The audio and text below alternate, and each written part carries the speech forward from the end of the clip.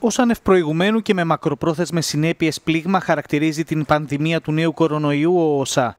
Στην εξαμηνιαία έκθεσή του για τις φετινές προοπτικές της παγκόσμιας οικονομίας, ο οργανισμός προβλέπει για την Ελλάδα ύφεση 8%, ποσοστό μικρότερο κατά 1,1% από τον μέσο όρο της Ευρωζώνης.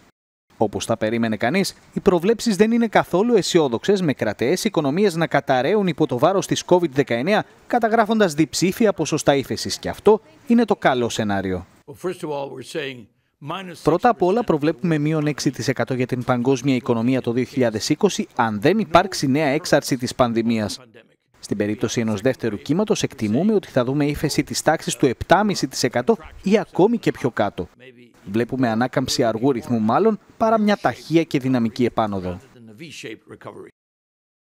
Στο σενάριο της νέας έξαρσης, το ελληνικό ΑΕΠ θα μειωθεί κατά 9,8% έναντι 11,5% της Ευρωζώνης, ενώ Γαλλία, Ιταλία και Ηνωμένο Βασίλειο θα ξεπεράσουν το 14%. Σύμφωνα με τον Άνχελ Γκουρία, η περαιτέρω ενοποίηση στην Ευρώπη αποτελεί τον ενδεδειγμένο τρόπο αντιμετώπισης. Το μέλλον της Ευρώπης είναι η ενοποίηση, μια ενιαία Ευρώπη. Θα είμαστε καλύτερα έτσι. Το επίπεδο ευημερίας θα αυξηθεί. Τα συστήματα υγείας όπως γνωρίζετε δεν εμπίπτουν στην αρμοδιότητα της Ευρωπαϊκής Επιτροπής. Αποτελούν ευθύνη του εκάστοτε κράτους μέλους. Άρα ουσιαστικά έχουμε μπροστά μας διαφορετικές πολιτικές και διαφορετικούς τρόπους ανάγνωσης των δεδομένων και αντίδρασης σε αυτά.